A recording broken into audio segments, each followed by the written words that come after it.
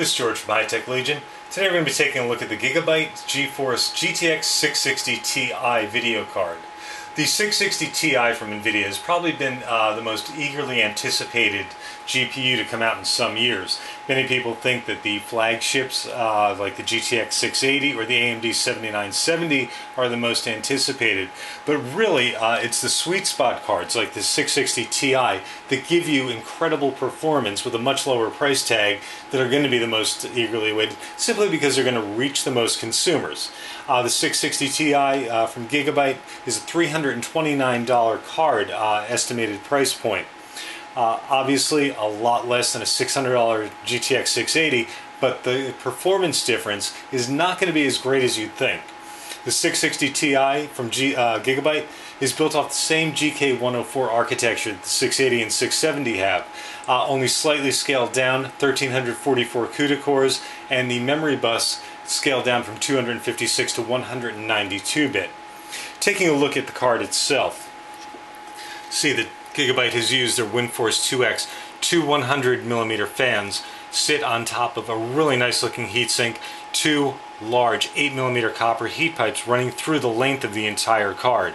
As you can see the heatsink extends almost the entire length of the card, two small breaks, but really a lot of surface area to get some cooling. Uh, that's going to be important because Gigabyte has overclocked this card. This card comes with a 1032 megahertz base clock, 1111 megahertz dynamic boost clock. So you've got a good uh, overclock right off the bat out of the box from Gigabyte. Moving on, taking a look at the printed circuit board itself. It's really a nice rigid printed circuit board. That comes into play uh, quite a bit in video cards because as you know they are known to sag the larger cards. This isn't a large card but still it's fairly heavy with this heatsink so you might be apt to sag. With the rigid circuit board there's almost no flex.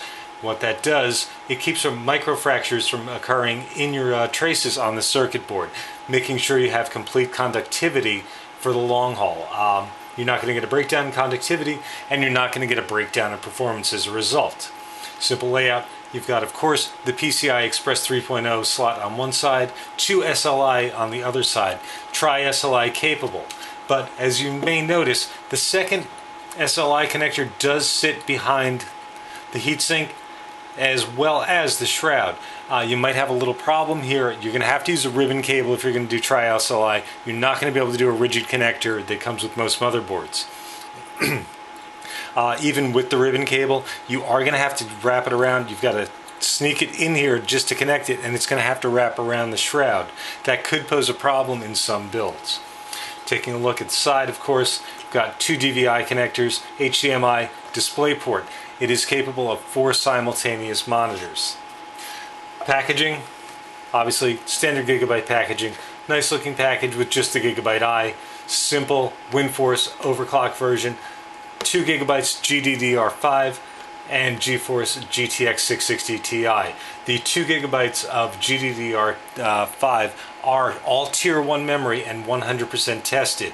This is an ultra durable board, so it's going to use solid Japanese capacitors and ferrite core metal chokes as well. So you've got a really nice build around a really, really hot GPU just hitting the market. Taking a look at the accessory package, rather Spartan on this piece. Quick start guide, two Molex to 6 pin adapters, and driver and overclock Guru CD. The 660 Ti is also a very, very efficient GPU, so it only uses two 6-pin connectors. No 8-pin is required. Uh, it's actually, the recommendation is 450 watt power supply and up. So you're not going to need a huge power supply to power this. Uh, and they're only say calling for a recommended 75 watts per connector. So 150 watts going to the card. So you're not going to have a great expense in power supply to run one. And obviously on mid-sized power supply, you're going to be able to run Tri-SLI, which is something you could never do in the past. Really a fantastic looking piece from Gigabyte. Nice overclock, well put together, good looking piece.